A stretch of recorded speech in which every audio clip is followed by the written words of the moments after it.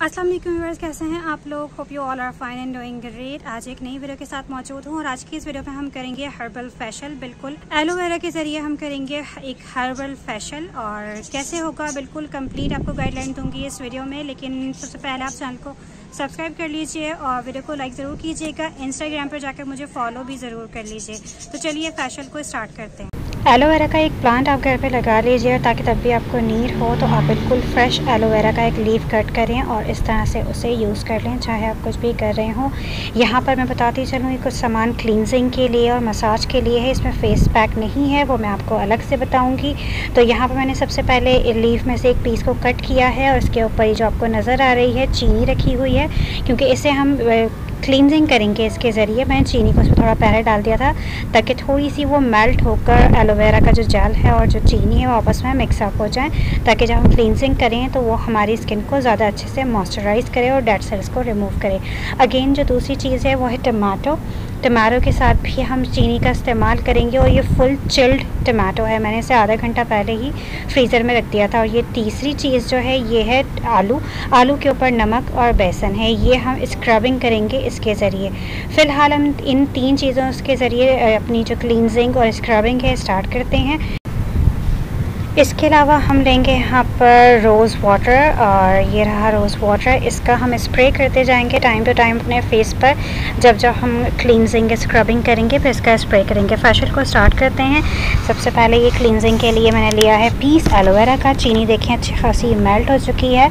और इसकी हल्के हल्के हाथों से हम सर्कुलर मोशन में मसाज स्टार्ट कर देंगे। इसकी मसाज हमें तकरीबन दो से तीन मिनट तक करनी है अपने फेस के हर हिस्से पर, आपके डार्क सर्कल जहाँ पर हो, वहाँ भी आइस के ऊपर, आइस के नीचे। इसके अलावा जहाँ जहाँ से आपका जो कलर है, वो डार्क हो रहा है, उस एरिया पर भी ऐसे अच्छे से रगड़ें कह रही हूँ, मसाज करें इसकी। और अगर आपको एक्नी है तो आप थोड़ा सा उस एकनी वाले पार्ट पर थोड़ा सा स्लो इसकी मसाज कीजिएगा, ताकि आपको ज़्यादा फील ना हो। अच्छा मैंने क्या किया था, मैंने इसमें छोटे छोटे जैसे मैंगो में कट लगते हैं, वैसे कट्स भी लगा लिए थे ताकि जो इसका जितना भी पल्प है वो अच्छे से बाहर आ जाए। आपको मैं बताते चलूँ एलोवेरा के बारे में। इसमें vitamin A C antioxidant element, इसके अलावा एंजाइम्स होते हैं इसके अंदर जो आपकी एक्नी को, आपके, आपकी ड्राई स्किन को प्रोटेक्ट करते हैं। स्किन से ड्राइनेस ख़त्म होती है, आपकी जो स्किन है वो इवन टॉन होती है और ये आपकी स्किन को मॉइस्चराइज भी करता है। क्योंकि जो इसका जेल होता है एलोवेरा का, वो आपकी स्किन को मतलब आपकी स्किन का जो कलर है, उसे ना सिर्फ़ फेयर करता है, बल्कि उसे हाइड्रेट भी रखता है। तो यहाँ पर बहुत अच्छे से मैंने इसकी क्लिनजिंग कर ली है और अब एक पॉफ की मदद से किसी भी आप या टिश्यू ले लें, उसकी वजह से रिमूव कर लें। जस्ट मैंने ये रिमूव कर लिया अब सेकेंड चीज़ मैं यहाँ पर ले रही हूँ टमाटो अच्छा इसे मैंने 20 मिनट से 30 मिनट के लिए फ्रीज़र में रखा था और ये इस वक्त इस कदर ठंडा है कि यकीन करें बार बार जो मैं हाथ उठा रही हूँ, इसकी ठंडक मुझसे बर्दाश्त नहीं हो रही। तो आप इतना ठंडा कीजिएगा आप 10 मिनट रख लीजिए बस, और फिर उस पर शुगर लगाइए और उसकी जो है स्क्रबिंग स्टार्ट कर दी। ये क्या करेगा जो आपका अक्सर जो सन टैन आपके हो जाता है सन की जो लाइट होती है, उससे आपकी स्किन जो है बर्न हो जाती है, क्योंकि हम अक्सर बाहर निकलते हैं तो हम सन ब्लॉक नहीं लगाते, जिसकी वजह से डायरेक्ट जो उसकी रेस है हमारे फेस के जो कलर है, जो स्किन है पोर्स हैं, उनको डैमेज करती है तो ये उसके लिए बेस्ट है। इसका स्क्रब भी बहुत बहुत ही ज़्यादा बेस्ट है। आपको पता है टमाटो जो होता है वो हमारी स्किन के लिए कितना मतलब कितना अच्छा होता है। ये क्या करेगा कि रिड्यूस करेगा आपकी जो पोर्स होते हैं, उसमें जो रिस्क पड़ जाता है एक्नी का, ये उसे रिड्यूस करेगा। आपकी स्किन की जो टोन है, उसे ना सिर्फ़ स्मूथ करेगा फेयर भी करेगा। आपकी डेड सेल्स सबसे बड़ी चीज़ जो टमाटो की होती है, ये डेड सेल्स को रिमूव कर देता है। आपके चाहे हाथों पे हों, आप इसे अपने पैरों पे अप्लाई करें या अपने हाथों पर। तीन से चार मिनट मैंने इसका भी स्क्रब किया था और उसे रिमूव कर दिया ना मैंने यहाँ पे रोज़ वाटर का स्प्रे किया है। अब हम अपनी तीसरी चीज़ यूज़ कर रहे हैं पोटैटो इसका भी सेम हम तीन से चार मिनट तक मसाज करेंगे और पोटैटो के साथ इसमें थोड़ा सा सॉल्ट था और बेसन था। इन तीन चीज़ों की मदद से हम करेंगे मसाज स्लाइटली अपने चेहरे पर और आपको पता है जो पोटैटो है, वो कितना पिगमेंटेशन के लिए अच्छा होता है। मतलब पिगमेंटेशन की जब बात आए तो उसकी, उस रेमेडी में पोटैटो का जो यूज़ है, वो मस्ट होना चाहिए मेरे हिसाब से। इसके अलावा ये आपके जो रिंकल्स और लाइन आ जाती हैं पोटैटो उसके लिए भी बहुत बेस्ट होता है। चाहे वो आपके हाथों पर हों या आपके फेस पर हों। आपके डार्क सर्कल्स जो होते हैं उनको भी आ, मतलब आ, सही करता है जो पोटैटो होता है हेल्प करता है आपके डार्क सर्कल को रिमूव करने में और जो आपके रैशेस पड़ जाते हैं चाहे वो फेस पर हो चाहे वो सनबर्न की वजह से हो या किसी भी चीज़ की वजह से हो उस पर भी आपको हेल्प आउट करता है। पोटैटो का जो जूस होता है वो भी स्किन के लिए बहुत बेस्ट होता है। यहाँ पर मैंने इसका भी मसाज दो से तीन मिनट के लिए करना है और फिर इसको मैं रिमूव कर दूँगी।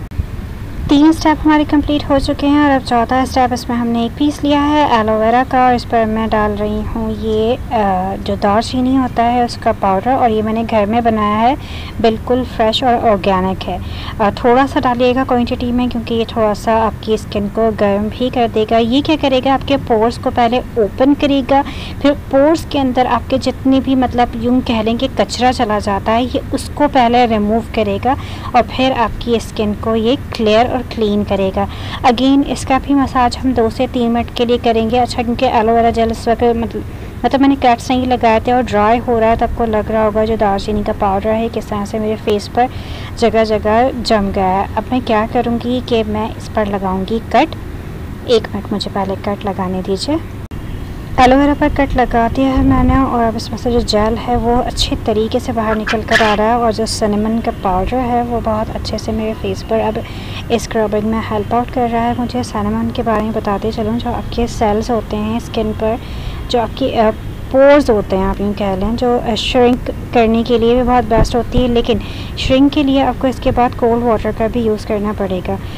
इसके बारे में बता दें जो आपके जो सेल्स होते हैं, वो डेड हो जाते हैं और उनमें या फिर जो डस्ट वगैरह पल्यूशन वगैरह चली जाती है, उसको बहुत अच्छे से क्लीन करता है और डेड सेल्स को रिमूव भी करता है। इस वक्त जो मेरा फेस है, वो रेड आपको नज़र आ रहा होगा, हो रहा है क्योंकि थोड़ी सी गर्म होती है दालचीनी, इसीलिए। आपने बहुत हल्के हाथों से इसका मसाज करना है। वीडियो मेरी थोड़ी सी फास्ट मोशन में है, इसलिए आपको ये बहुत ज़्यादा क्विक लग रहा है। इसका मसाज मैं करूँगी तीन से चार मिनट और एलोवेरा जेल से आप देख रहे हैं, इस वक्त स्किन जो है मेरी किस कदर शाइन कर रही है। कुछ भी इस वक्त मेरे फेस पर नहीं लगा हुआ और स्किन की जो शाइन है वो आपके सामने है और सिर्फ़ ये सिंपल इस हर्बल फेशियल की वजह से है। जस्ट अब मैं इसे यहाँ से करूँगी रिमूव और ये देखिए जी।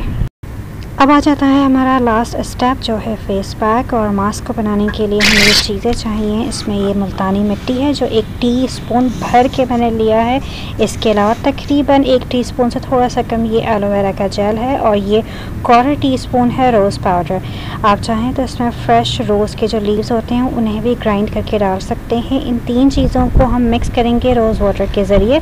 लेकिन पहले मैं करती हूँ क्या कि जो एलोवेरा जेल है, इसके ज़रिए मिक्स करके चेक कर लेती हूँ कि बाकी कि हमें कितनी नीड है।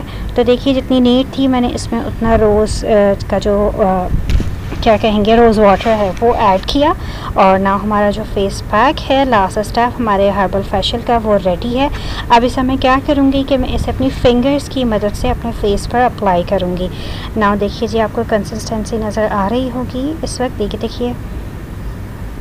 अब थोड़ा वीडियो यहाँ पर भी फास्ट है और आप देखिए बिना मेकअप के इस वक्त जो मेरा फेस है वो किस कदर मतलब क्लीन लग रहा है सर मेरी स्किन इतनी इस वक्त सॉफ्ट हो रही है हाँ थोड़ा रेड भी हो रहा है, क्योंकि ज़ाहिर सी बात है आप इतनी सारी चीज़ों का मसाज अपनी स्किन पर कर रहे हैं, आपके फेस की स्किन बहुत ज़्यादा सॉफ्ट और नाजुक होती है तो इसीलिए थोड़ी सी रेडिश इस वक्त मेरी स्किन पर है लेकिन जब आप ये फेस पैक लगाएँगे और 10 मिनट में तकरीबन ये ड्राई हो जाता है वेरी करता है आपकी स्किन पर क्योंकि कुछ लोगों की स्किन पर जल्दी ड्राई हो जाता है कुछ लोगों की स्किन पर ड्राई देर में होता है।